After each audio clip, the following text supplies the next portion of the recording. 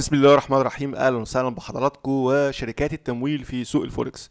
الحقيقة النهارده أنا هتكلم في موضوع قد يبدو آه، شائكا. يعني الموضوع ده آه، كسر آه، في الفترة الماضية بشكل كبير جدا وحتى كانت بتجيلنا آه، تعليقات وحفاظا على خصوصية الأصدقاء. كنا بنمنع نشر هذه التعليقات لأن ممكن تكون يعني إيه محرجة بعض الشيء.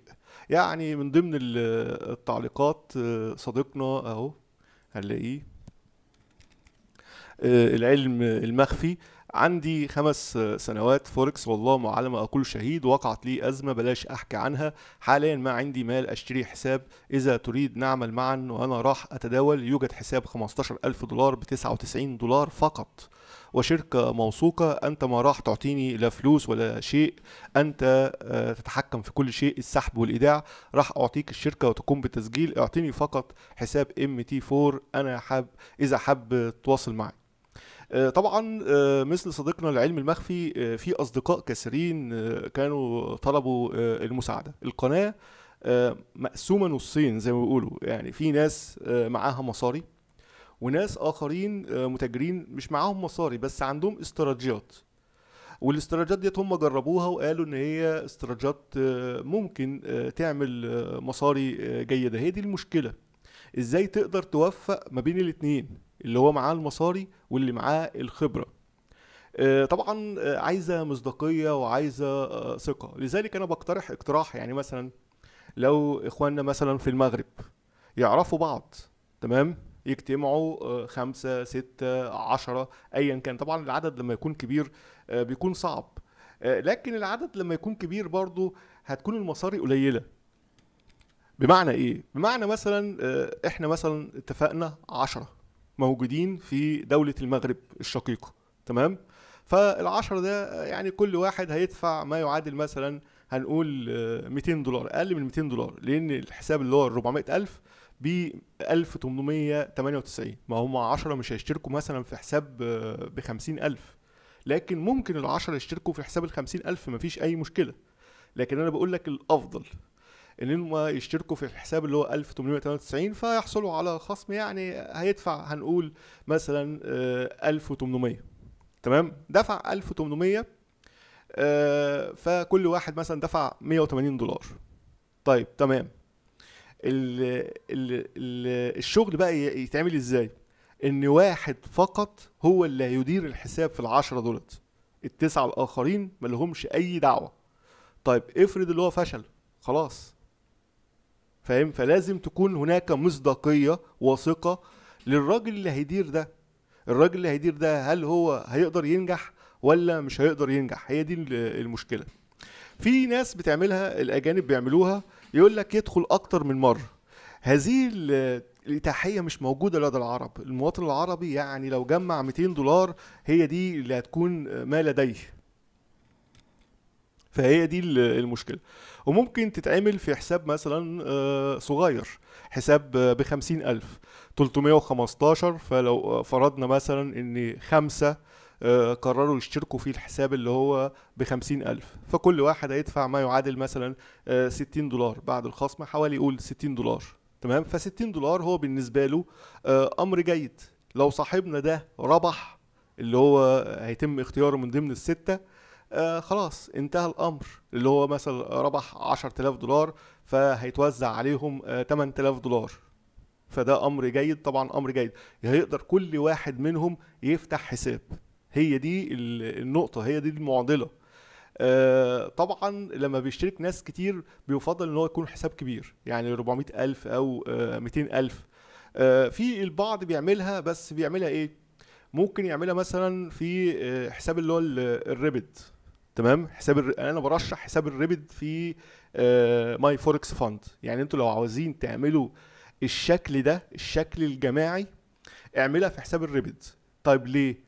لأن ال- الفشل فيه قليل. آه، لا يوجد مدة.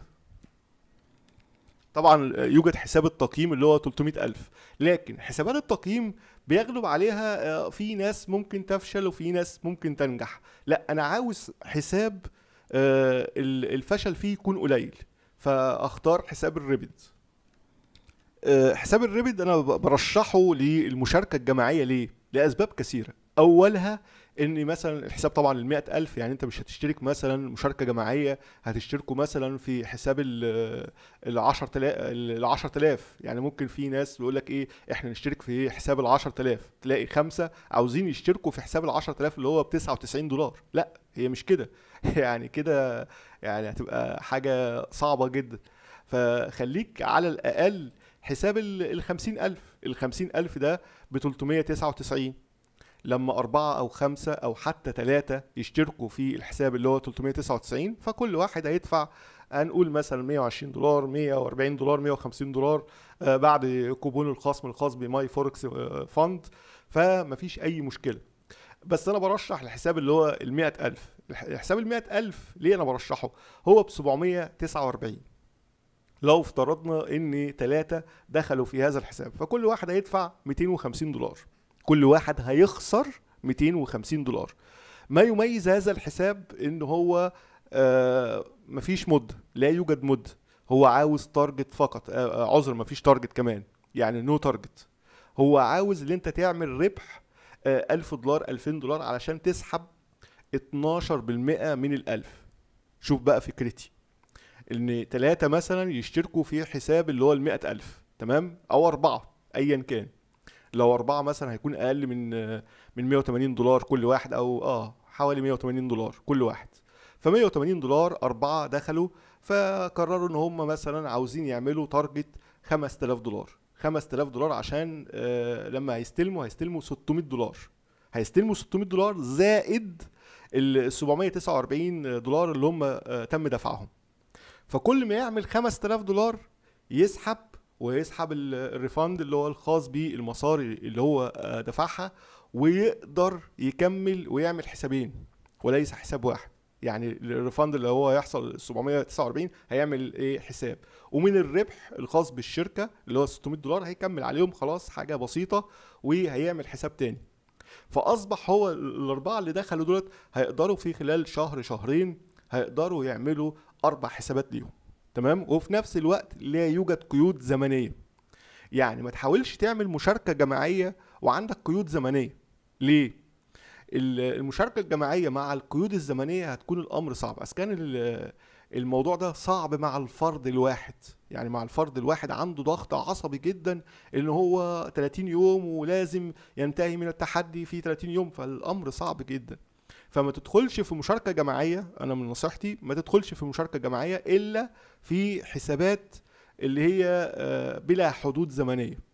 تمام؟ وأنا برشح طبعا My Forex Funds وبعد كده المصاري اللي تيجي منها ممكن بقى تشترك في الحسابات اللي أنا برشحها طبعا آه، الشركة الأولى بالنسبة لي وعن تجربة E8 طبعا إن شاء الله هقول لكم آه، بشرى سارة بس خليها تكمل على خير إن شاء الله في E8 E8 آه، شركة جميلة قوي. وعن تجربة. شركة جميلة قوي. والدفع بيها بي- بيكون أوتوماتيك والانتقال ما بين المراحل أوتوماتيك وكل حاجة كويس بس أنا أنا جربت الحساب اللي هو ال ألف.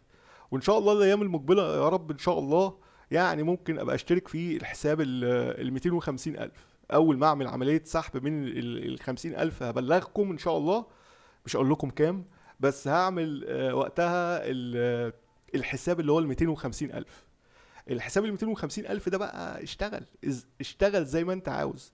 بس حكاية المشاركة الجماعية في البداية إنك تشترك في شركة مثلا إي 8 و- وتدفع 988 إحنا عاملين كوبون خصم 8% آه، المسألة هتكون صعبة. ليه؟ لأن أنت عندك شهر 30 يوم. أنا مش عاوز أدخلك في دوامة ال 30 يوم ديت. أنت لما تيجي تشترك اشترك في شركة زي My Forex Funds بحيث اللي انت تربح منها. ومن الأرباح اللي انت بتعملها في My Forex Funds تقدر بقى تشترك في FTMO و آه، أيضا في ال- الشركة اللي هي اسمها إيه؟ إحنا نسيناها والله E8 آه خلي بالك بقى في شركات آه بتبقى واخدة ال IP. يعني إيه واخدة ال IP؟ يعني أنا معايا معايا حساب اللي هو الحساب الكبير في FTUK. فبلاقيهم بيرسلوا لي ال- الإيميلات بيعملوا له ال IP بتاع الجهاز. أنت متخيل؟ يعني من ضمن الإيميلات اللي أنا شفتها عندي لقيت عاملين ال IP بتاع الجهاز. لذلك الشركة دي ما ينفعش تشتغل معاها من أكتر من جهاز. أنت فاهم؟ وخصوصا بقى لو كان أجهزة خارج البلاد. يعني واحد بيشتغل آه، من مصر والآخر بيشتغل من العراق أو واحد بيشتغل من المغرب والتاني بيشتغل من الجزائر. مش هينفع. الشركة دي مش هينفع معاها آه، لأن ال IP بياخدوا IP الجهاز. أنا فوجئت بالحكاية ديت في FTUK لكن هي شركة محترمة. طبعا شركة محترمة جدا آه، وبتعطيك حساب مجاني.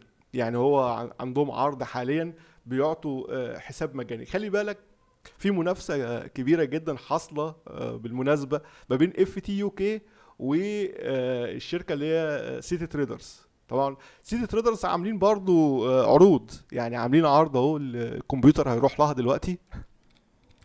عاملين عرض 10% عاملين العرض ال 10% أهو discount وفاضل يوم وساعة وخلاص. هو خلاص العرض ده هينتهي. بس هما بينافسوا مين؟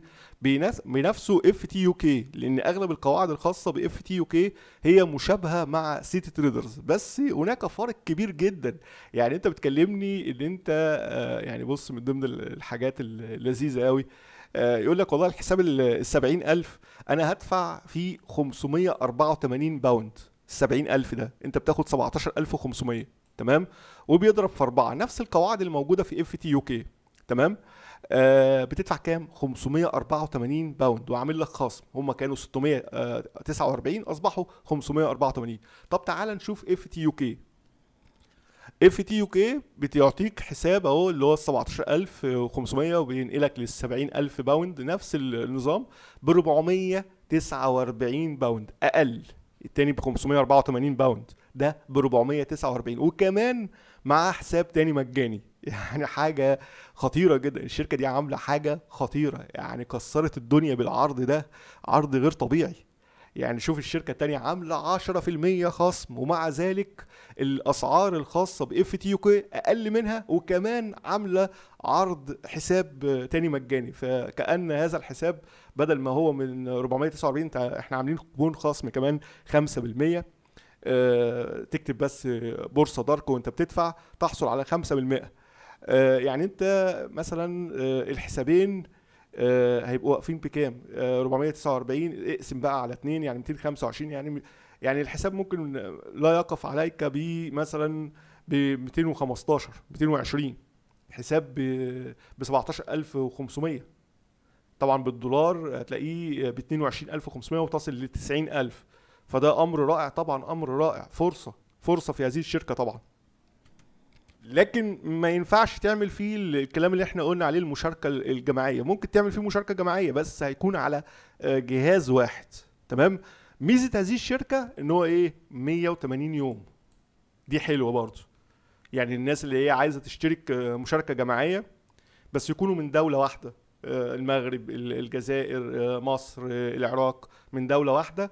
ويعملوا آه، هذه المشاركة الجماعية. يعملوها مع هذه الشركة هيبقى الموضوع سهل. وفي نفس الوقت المصاري اللي هم هيدفعوها هتبقى آه، مصاري آه، قليلة. تمام؟ وممكن يعملوا بقى الحسابين كل حساب على جهاز مختلف. تمام؟ ويقول لك والله أنا عايش في شقتين. زي ما أنا هنا مثلا آه، في مصر آه، لما الشركة مثلا لقيتني آه، بشتغل من القاهرة ومن الإسكندرية. عندي شقة في القاهرة وعندي شقة في إسكندرية. إيه المشكلة؟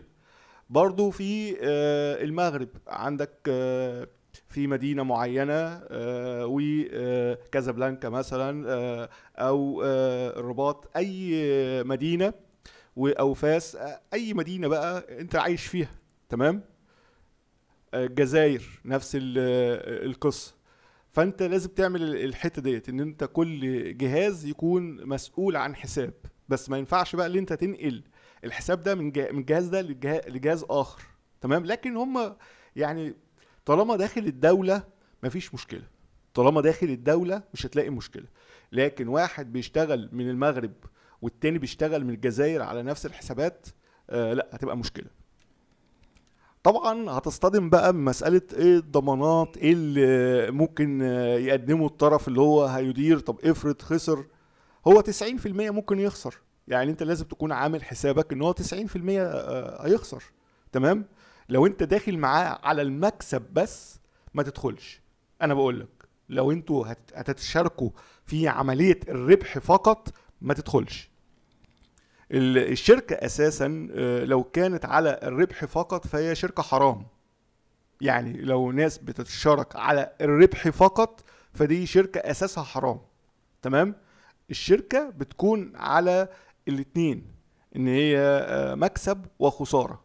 لو أنت متقبل الخسارة يبقى ممكن تتشارك في هذا الموضوع. طبعا أنا مش بتكلم الكلام ده ليه أنا أنا بعيد خالص عن الموضوع ده. أنا أنا مع نفسي أنا بشتغل مع نفسي مع حالي تمام؟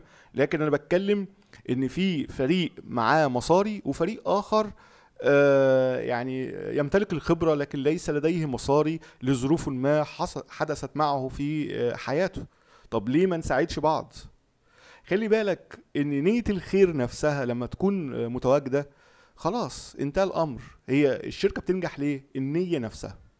يعني طالما عندك نية الخير ونية مساعدة الآخرين خلاص توكلوا على الله.